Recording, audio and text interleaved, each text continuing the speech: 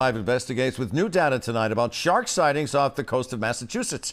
Our Mike Beaudet is analyzing the numbers and the swimmer that was killed by a great white in Maine earlier this week. Here's Mike tonight.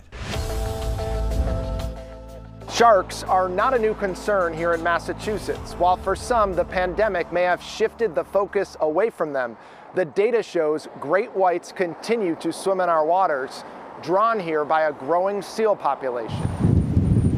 A shark warning flag flies at Nauset Beach in Orleans. The pandemic is on people's minds, but so are great white sharks, especially after a swimmer in Maine was killed by a great white earlier this week. We're under the assumption that the sharks are out there at all times, just like any other year. Nate Sears is the natural resources manager and harbor master in Orleans. He says it's a challenging time at the beach, delivering multiple messages about safety. This is a new situation. Obviously, it's not just sharks that we're educating people about, but it's also the safety protocols associated with the COVID. We try to manage the beach pretty aggressively and make sure that uh, the message is being delivered to everybody that comes through the gate. Five Investigates analyzed shark sightings data from the Atlantic White Shark Conservancy Sharktivity app. It comes from researchers, safety officials, and users who upload photos for confirmation.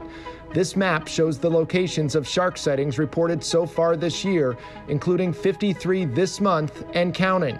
Compare that to July of last year when there were 129 sightings, and July of 2018 when there were 76 shark sightings. There's no reason to believe there's any less shark activity off the beaches. I think the researchers haven't been out quite as much uh, with everything going on with the pandemic.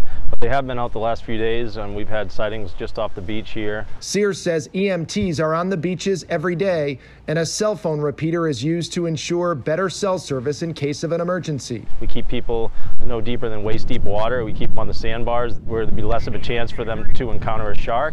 The harbor master in Orleans says people in Massachusetts are not naive about sharks anymore. And because of that, they're changing their behavior at the beach which he says is refreshing to see.